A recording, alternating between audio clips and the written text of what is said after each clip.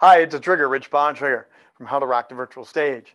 I've been getting a lot of questions lately about the virtual environments that I've created and why mine look a little bit sharper. I don't phase in and I don't phase out. What's the trick, Trigger? What are you doing different? First of all, this is a virtual screen. This is not a real screen. It's not real fabric hanging in my studio. A lot of people actually think that it is. It's really a green screen. Now, I have learned a lot over the time of doing this on what works for green screen and what does not work for green screen. To give you a couple tips to help you rock your stage and create your environment even better than what it is. First of all, lighting is important. You don't want to have shadows. You want to make sure it lights up well. And that simply takes practice of rolling tape, moving your lights around, and seeing what really is going to work for you in the environment you're in.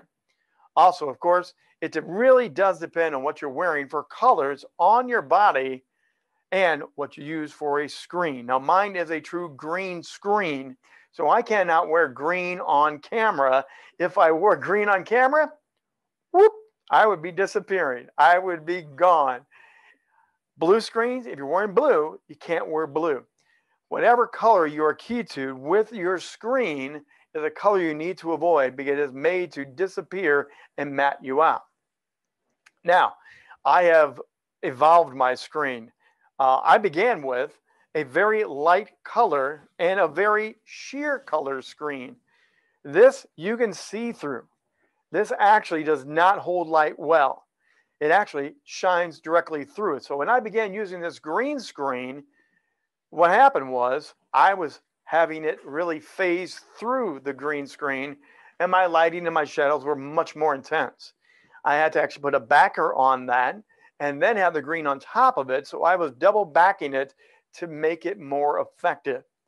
Now, I have learned a lot and I've changed that up to be a thicker and richer green. Let me show you.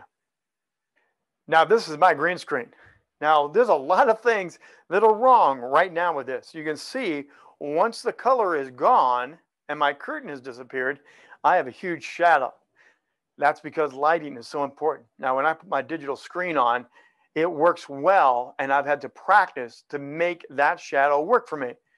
I could keep honing this and make it better where it's less and tighter, which I highly recommend you do. But again, you have to roll tape, practice, move the lights, and come back and do it again.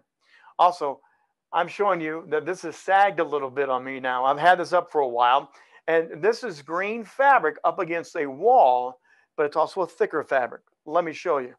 This is my green screen, and my green screen is very thick and it's a solid, more richer, deeper green color than the original fabric.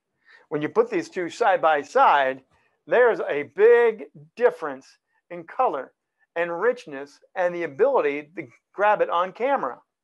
The other thing about green screens are you need to make sure you find a good image so it does have that rich and deep color.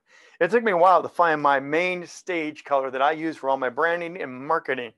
But once I found that right hue, that right color with the lights and the richness of the fabric, this works incredibly well. Many people really believe it's a real curtain. Also, when you have other images, I have over 20 images that I use for various events, activities. Some are fun, more serious, more professional, but you have to search them out to find out which ones are going to have the best depth to them. My stage goes deep, it goes side to side, and I do not phase out. That's because of the lights, that's because of the fabric, and it's because I'm picking out rich, high definition images to overlay behind me green screens. They're a marvelous thing. You can create your environment. And as a bonus, I can take this anywhere in the world with me and still be in my studio and give you the same presentation in the same environment. And that's part of marketing and branding. You want to learn more about green screens and production and how to really rock this and make your environment better? Let's talk. Reach out to me and let me help you rock the virtual stage so that you're sharp and crisp and you don't phase in or out anymore. Until next time, I'm the Trigger, Rich Bontrager. God bless and keep rocking the stage.